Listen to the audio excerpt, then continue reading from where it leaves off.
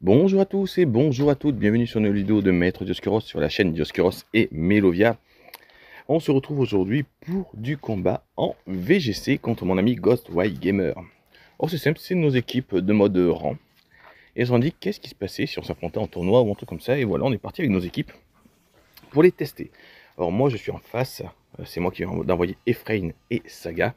C'est Ghost qui filme et nous a envoyé le Elector de Galar et le Miascarade. Alors, avec la vague de canicule qui touche la France, surtout aujourd'hui avec euh, plus de 42 degrés, j'ai envie de vous dire que mon équipe est tout à fait dans le thème. Donc, il rappelle son Elector. Pour placer, est-ce que c'est prudent de switch euh, dans cette situation? Pour nous passer Florge, Florge a une très bonne défense spéciale, c'est le cas de dire, euh, de type fée, et à mon avis, il doit avoir préparé un petit truc. Miascarade reste le Pokémon le plus rapide sur le terrain. Il frappe avec un demi-tour, passe donc de type insecte, et il revient vers son dresseur. Euh, pour nous placer Flamigator, donc il va placer Flamigator, ce qui est un choix tout à fait logique. Flamigator étant de type feu et spectre, euh, lui est tout simplement, je veux dire, ok, il va se prendre des dégâts parce qu'il n'est pas immunisé, mais je veux dire, dans l'ensemble, euh, il devrait mieux supporter les attaques feu que ses camarades, surtout s'il est joué d'un rôle défensif. Donc ces Pokémon ont, d'assez bonnes défenses. Elle est assez équilibrée. Miascarade et Elector sont rapides et offensifs. Flamigator est offensif sur le plan spécial, mais également assez défensif. Tandis qu'à Florge, c'est un bon Pokémon qui, est assez bon en stall. J'ai eu de la chance, j'ai brûlé Florge, mais les deux Pokémon euh, de Ghost euh, sont plutôt bien dans le jeu et n'ont pas perdu, euh, ont perdu, ouais, même pas la moitié de leur vie en fait. Ils terracristallisent sans Florge de type roche, c'est assez, assez surprenant. Et c'est assez intéressant. Donc le canicule, le flamigator l'évite, le florge le tient. Il mange sa baie pour surmonter. Ça aussi c'est assez original. Généralement florge on voit souvent tenir les restes. Euh, moi j'ai la particularité de, jouer avec l'orbe vie. Et il fait terre explosion. À mon avis c'est en direction de Dracofeu, alias Saga. Alors ce Dracofeu vous le connaissez, je le joue depuis des années pour ceux qui me suivent, vous êtes plus en plus nombreux. Euh, il, vient depuis XY, il a été, vous l'avez connu euh, sur Omega Dracofeu X, vous l'avez connu en Omega Dracofeu Y, vous l'avez connu sur son G-Max, où on a fait une super série par contre en 8 génération. Vous l'avez connu avec l'attaque des Cristaux Z. Bref, il me suit sur toutes les générations et je suis content de, faire mes modes avec lui. Où là actuellement on est dans le top 1000, on a fait une belle, une belle percée. Je place donc mon Pokémon Spectre qui répond au doux nom de Mercredi. Référence évidemment à Mercredi Adams. L'avantage c'est que ce Pokémon est plus rapide que les deux d'en face. J'ai une attaque de zone avec éclat magique. Et techniquement, j'ose penser que je peux finir les deux avec un éclat magique. Euh, Ephraim étant trop lent, il ne survivrait pas à ce round. Donc je ne le vois pas switcher par contre. Moi je Terra cristallise en type fait tout simplement pour renforcer euh, mon éclat magique. Et dans ce cas-là, je devrais faire des dégâts assez conséquents. Aucun des deux ne devrait le tenir, sauf en cas d'abri, bien évidemment. L'attaque est partie. Elle touche les deux, personnes esquive. C'est le double KO. On a remis les pendules à l'heure. On a rééquilibré le match. Euh, Ghost se retrouve euh, avec la pression à nouveau. D'ailleurs, j'en profite pour euh, vous encourager à aller voir la chaîne de Ghost White Gamer euh, qui porte ce nom, Ghostwire Gamer, où il y a du très bon contenu, euh, du multigaming, vous allez voir trouver un petit peu de tout, même s'il y a une prédominance pour Pokémon. Et il a toujours des équipes très intéressantes, donc je vous encourage à aller jeter un oeil. Alors d'ailleurs, il y aura d'autres vidéos avec Ghost, je en poste. On a fait une petite série d'équipes test pour euh, la saison de septembre, où je voulais voir vers quoi m'orienter. Et du coup, il les a tous filmés, donc je pense qu'on aura encore deux ou trois vidéos à poster. avec des équipes assez sympas, je trouvais. Donc, il nous place son élector et son Miascarade. Alors, l'avantage, c'est que Éclat Magique peut faire mal aux deux. Et qu'il a déjà utilisé son Terra, donc je n'ai pas trop à me soucier de ça. On va dire que sur l'analyse du match, c'est un point positif. Chartor a un peu la place du condamné. On sait très bien que c'est un Pokémon qui ne peut pas frapper. il ne peut pas frapper. Pourquoi? Parce qu'il est trop lent. Et vu le peu de vie qui lui reste... Euh, alors, détection de Elector va le protéger. Il ne sera pas touché à cette attaque ça marche comme abri en fait, détection. C'est juste qu'ils évitent l'attaque en la détectant, mais grosso modo c'est un abri. Alors, Miascarade tient avec un PV. Il tenait la ceinture force, ça veut dire que le Elector en tout cas ne la tient pas, ça c'est une bonne chose. Si tout se passe bien, je suis plus rapide. Waouh, waouh, waouh. Le Miascarade fait le chaos avec Kalinerie. Alors ça, je dois vous avouer que je ne l'avais pas vu venir. Euh, non, je l'avais vraiment pas vu venir. Je pensais, je pensais au moins le tenir, hein, Kalinerie. Euh, d'accord. Bien joué. Bien joué. Bon, l'avantage c'est que l'avantage c'est qu'il a tapé Lector.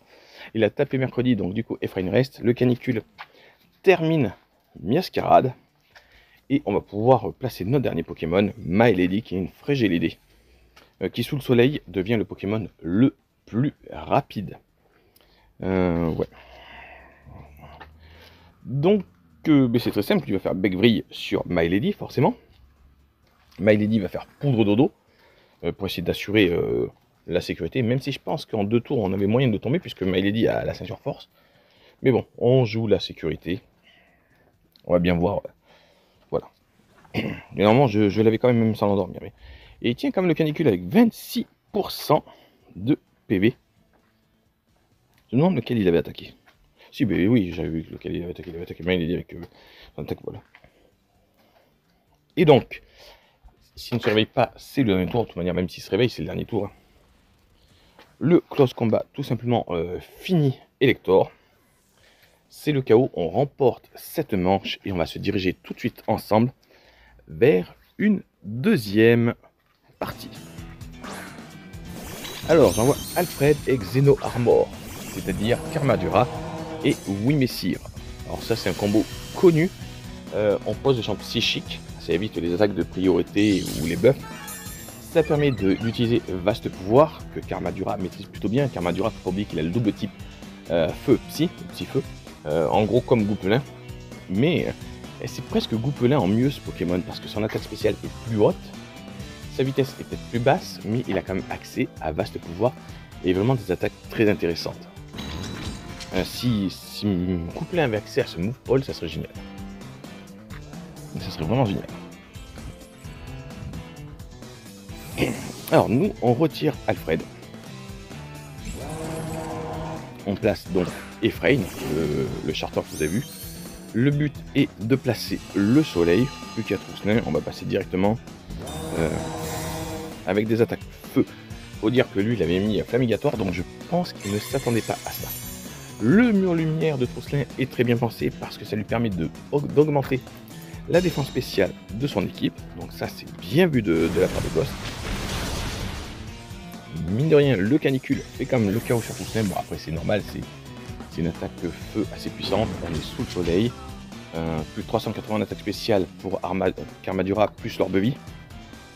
Et voilà, en plus, ouais, ça il se prend un fois, fois deux. Donc.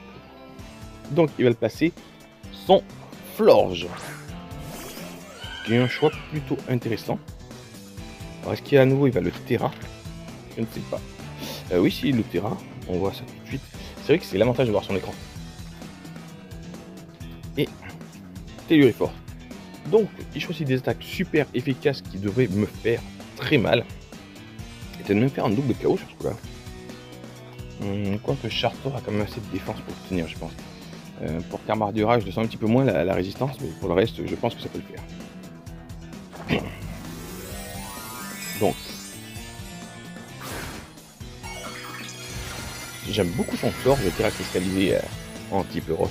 Il avait fait la même, il avait, alors je sais pas si on a fait la vidéo, je sais qu'il avait un blind épique qui jouait en Terra Roche et j'avais trouvé ça super intéressant et super génial.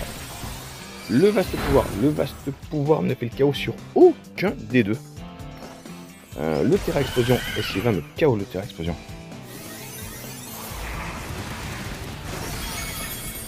Et non, je le tiens également, c'est assez intéressant. Le Telluric Force, lui, ne fait pas chaos non plus, personne n'est chaos sur ce tour. Je pensais qu'il y aurait des, je pensais qu'il y aurait des cadavres. Le Telluric Force ici. Euh, Ephraim finalement lui réussit le sien et fait le chaos sur Flamigator. Alors Flamigator c'est mon starter favori de cette génération quand même. Euh, le starter haut étant celui que j'aime le moins. Les trois starters de cette gène sont, efficaces en combat. Ils sont un petit peu moins bons que ceux de la génération précédente. Mais vraiment ils, font le job. Ils font le job. Alors on repart sur un Terra Explosion il a placé, euh, mais il a placé son Elector Son Hector qui va être le Pokémon le plus rapide sur le terrain actuellement. Tac, ouais, il me finit. Il me finit Xeno Armor sans problème. En tout cas, je suis fier de lui, il a fait un super boulot. Et comme tous les matchs, avec 80% des matchs, il fait du super boulot. Après, c'est des EV un peu tarabiscotés que j'ai fait, à ma sauce. Donc voilà. Là, je pense que Efrain, c'est pareil. Ghost euh, balaye euh, mon équipe en face. Et il ne me reste plus que deux Pokémon. Il va falloir faire avec. Il va falloir faire avec. Et je vais pouvoir jouer Alfred, donc le Wimissier qui est de retour, qui ne sera pas un support, ce ne sera pas un grand support offensif, hein, mais un support défensif. Et Saga qui est de retour. Donc le Terra Explosion est pour Saga, on a très bien vu les dégâts que ça pouvait lui faire tout à l'heure. Et on va prendre deux Terra Explosion, première vue. Et on part sur deux Terra Explosion pour en direction de Saga. Moi je le Terra Cristallise et pour lui j'ai choisi le Terra Cristal de type. Euh, pourquoi tu fais Parce que j'ai trouvé ça très intéressant euh, de jouer Saga comme ça. Et après, je changerai si je n'en suis pas convaincu sur la durée. Parce que l'avantage du Terra c'est qu'on peut le changer à peu près quand on veut, enfin quand on a farmé assez de cristaux. Mais je trouve qu'en type Fée ça, ça donnait un rendu assez sympa. Et ça peut surprendre. Le canicule, le canicule fait pas de chaos en tout cas, mais il brûle Elector. Ça, ça me rend un énorme service. Alors mon Draco, de toute manière, il est, il est modeste, il a 252 V en attaque spéciale, il a 244 en PV, et le reste est tout simplement en défense pour qu'il puisse tenir les coups. Alors des fois ça marche, des fois ça marche pas, j'ai envie de vous dire, euh, sur ce gène.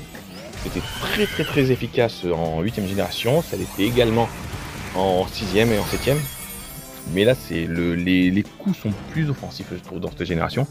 Et Dracofeu a un peu plus de mal. Ce n'est pas une génération où il va pouvoir briller comme les autres. Mais là, il est dans mon équipe. On est master, on est en top 1000, tout se passe bien. Très content. Alors, on repart sur un double focus en direction de Dracofeu. Voilà, par le électeur qui a fait. Non, le électeur fait euh, détection je parle, je fais même pas trop attention à ce que je dis. Le canicule. Et oui, oui, spontané, est-ce que ça va me tomber le florge Ça serait bien. Non, ça fait rien du tout à Florge. Le écosphère ne finit pas oui messire, et ça, heureusement. Euh, je ne voyais pas Dracofeu tenir les deux en face. Elector souffre de sa volure, le sol redevient normal, donc les attaques de priorité sont de retour.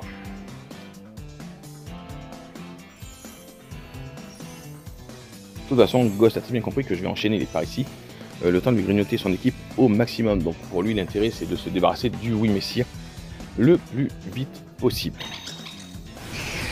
On y va, le canicule termine Elector, donc Elector ne me frappera plus. C'est déjà une bonne chose, euh, parce que je le craignais. Le Terra Explosion devrait terminer Wimissier qui n'a quasiment plus de vie.